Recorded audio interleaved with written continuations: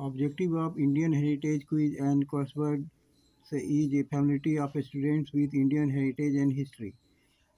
Anjani Kumar Singh, Director General, Bihar Museum, Patna.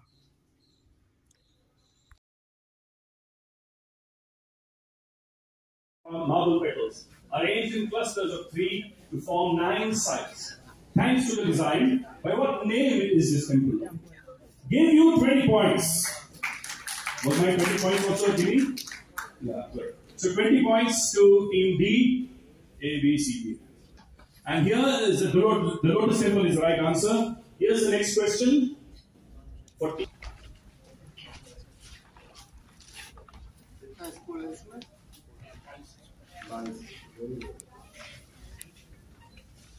Bihar के विभिन्न schools के स्टूडेंट्स प्रिंसिपल्स टीचर्स और बिहार संग्रहालय के कर्मी।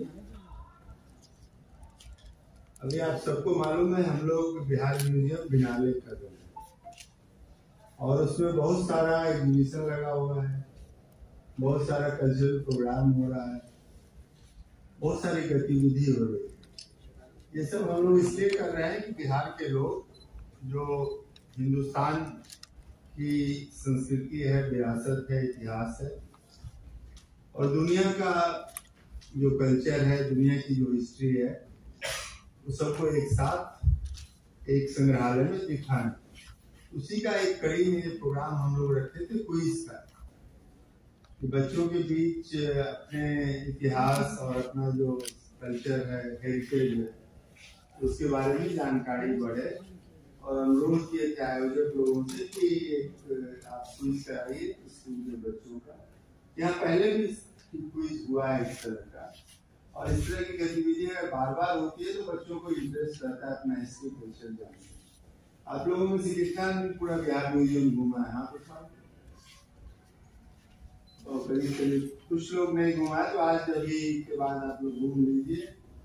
और बहुत सारा जो मेरे, मेरा हिस्ट्री गैलरी है, इतिहास गैलरी है तो ठीक से देखोगे तो बहुत आसानी से उसमें कहानी के रूप में सारी बात बताई गई कि सभ्यता जब सिविलाइजेशन शुरू हुआ, कैसे लोग पाषाण युग में था, फिर क्या हुआ?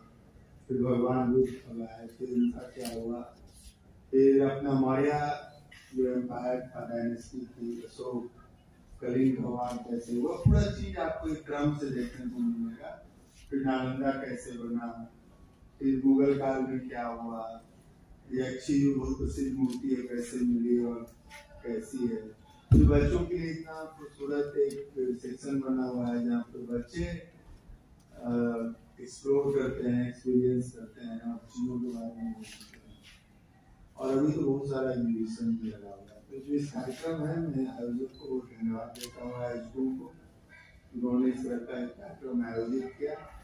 और बिहार संग्रहालय इस तरह की गतिविधि करता रहेगा। अगर आप लोग अखबार देखोगे मीडिया में देखोगे तो बहुत सारी एक्टिविटी आपको मिलेगी खास करके हम यूथ के लिए और बच्चों के लिए बहुत एक्टिविटी करते हैं। क्योंकि हम चाहते हैं कि हमारे जो युवा हैं बिहार के वो जाने। केवल अपने, अपनी संस्कृति के बारे में नहीं, देश और दुनिया की संस्कृति के बारे में। आप सभी ने भाग लिया, आप सबका बहुत बहुत धन्यवाद।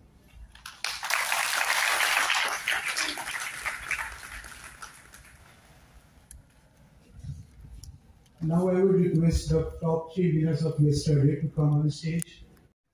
Indian Heritage Quiz and Crosswords uh, Quiz Master uh, Alan Cowell, Ranjan Kumar Amritati, Reporter Amritati News, Patna Bihar, India. जय हिंद जय भारत वंदे मातरम